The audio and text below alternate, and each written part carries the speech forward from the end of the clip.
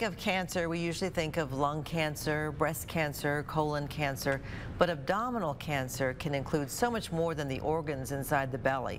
The good news is a new doctor in Lubbock has brought with him a new procedure that gives patients with a difficult cancer a fighting chance for a cure. When you see this, you know what's going to happen. A big bubble of gum, and then they would pop it, and it would just Dr. Tyler Mao says what the bubble leaves behind is a good way to explain. You have a membrane like that on the inside of your abdomen that's coating everything with a thin layer.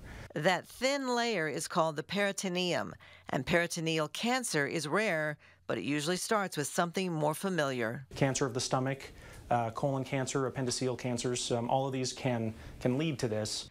Dr. Mao is the first surgeon in Lubbock to offer something new to fight peritoneal cancer.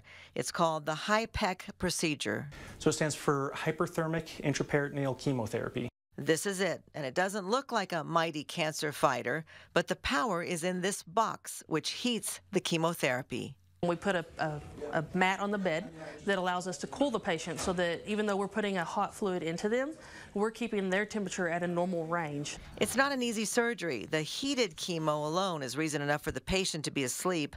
But Dr. Mao says studies have shown that when you heat chemotherapy, it becomes even stronger medicine. First, we, we do the operation where we take out all visible tumor.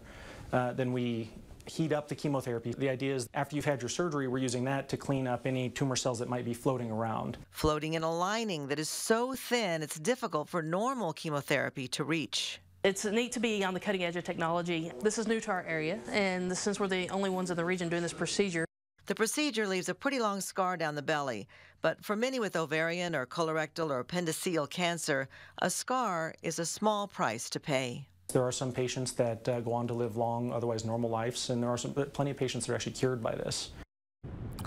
As with any surgery, of course, there are risks, and patients need to be monitored while hearing, and that's why it's healing. And that's why it's important that the HIPEC procedure is offered in Lubbock now at UMC, where people can stay here for their healing rather than go to Dallas or Houston for the procedure and the recovery.